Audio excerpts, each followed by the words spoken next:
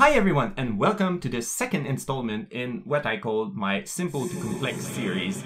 The idea is that I want to explore a subject in three different levels of complexity. And this week I want to explore, well, game programming, but um, programming in general. Why do we call some code clean? Or why do we say there's good solution and bad solution? Why do we talk about software design patterns and all that? Well, you see, I've been a programmer for quite a long time now, and every time I have to implement a new solution for some problem or I have to code a new feature, you know, I, I try a different way of approaching the problem, I learn something, and every time I get this kind of endorphin rush. And I kind of like it. It makes you feel good when you manage to solve something quite complex. And I'm hoping with these videos that I can share this kind of joy of learning to everyone watching this. Now, my goal isn't to make a several hours long video exploring all the different programming paradigm and, and software engineering concept and all that. All I want is to show some of the differences between, say, a small game jam project versus a small indie game that you'd want to release with a couple of your friends versus, you know, the kind of stuff you'd see in a big AAA studio where, where there's hundreds of programmers working together. Now, at the first level, maybe you're a complete beginner and you just started learning to program, or maybe you're tackling a problem that you've never seen before, and so you already have your brain full just trying to break the problem into small instructions that the computer can understand. And so you shouldn't be thinking about how to make this beautiful or how to make it look clean or even resilient. No, what you're trying to do is just to get it to work first. For example, recently I've been working on a bunch of different prototype and one of those is a small space shooter I was trying to make with some multiplayer elements. And if you look at the code, it's goddamn ugly. I mean, everything is in the main scene. And if you look at the code for the shooting of the weapons and all that, it's all programmed inside the controls of the player character, which in the long term is just not going to scale very well. But what I needed is to get to a playable prototype as quickly as possible so that I could try it out with my friends and see if it was fun. And for this, I even implemented some multiplayer storyboard I found online and I tried to hack it inside what I currently have. So there are a couple of different trial and error, like the way every multiplayer stuff is implemented is not the same throughout the code base because I was trying a bunch of different ways of doing it.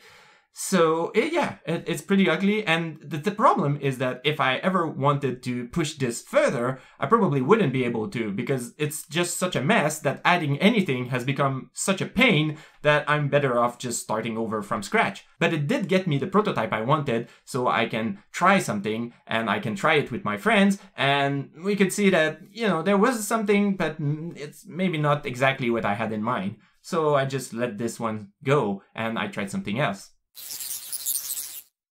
And so that's where the second level comes in, because once you've done your prototype and you're trying to maybe create more content or polish, and you're running into all sorts of problem because you've built yourself inside a very, very small cage and you can't get away from it, and you kind of have to start over again. And don't get me wrong, at any level, you run into this kind of cage problem where every solution you implement isn't perfect, and you'll always run into a situation where this cage is kind of preventing you from doing what you want. And it's it's it's a part of programming. You can't have a system that's perfect.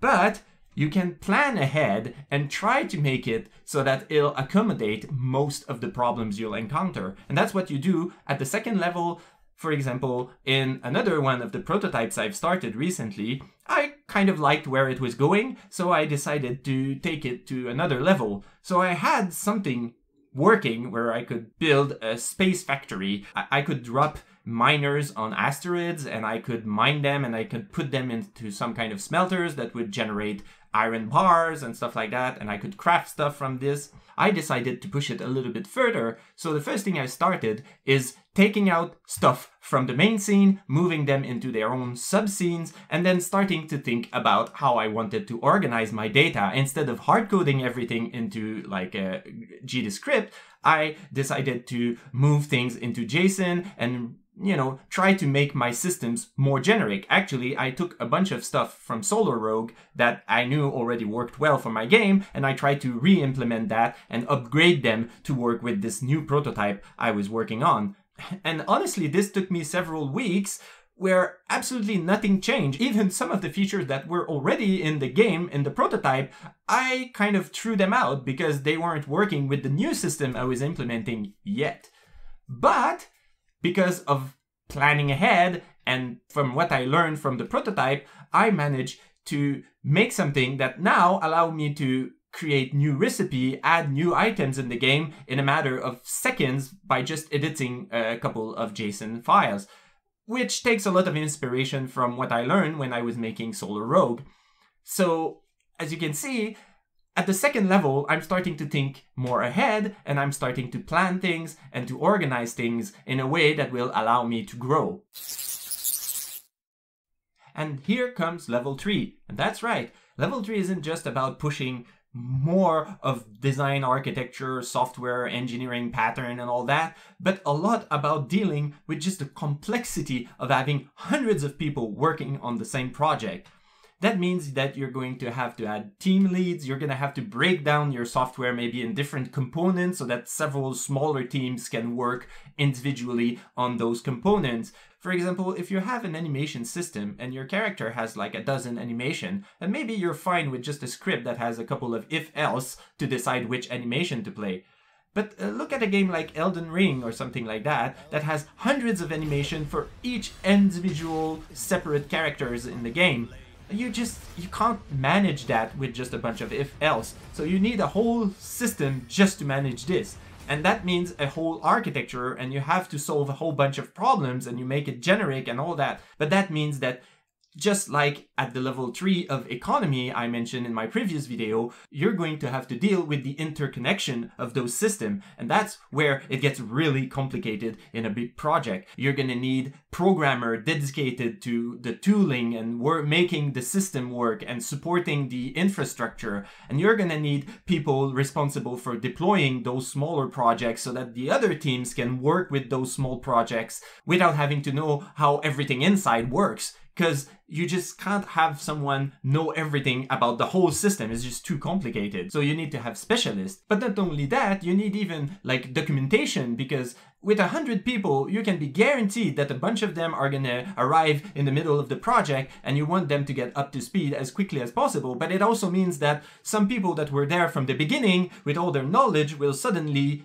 go up and leave and so you don't want them to leave with all the important knowledge. So you need confluence you need tickets you need jira and all these management things just so that people working on the project can keep working efficiently without wasting a whole bunch of time. And when you're working on a big project, you can be expected to implement a whole bunch of quality of life features. That means, you know, having dynamic key remapping, maybe graphical options, you have to support a whole bunch of different systems Mac, iOS, Apple, PC, anything. And then you have translation and all these kind of things that might seem like really small details actually take a huge amount of time to implement. In Solar Rogue, I tried to add a couple of, uh, you know, quality of life feature. I implemented French translation and Japanese translation, part of it. And then I tried to release on iOS, Android, and PC all at the same time. But seriously, that was really hard, and I kind of regret not doing just PC first and then doing the other platforms later.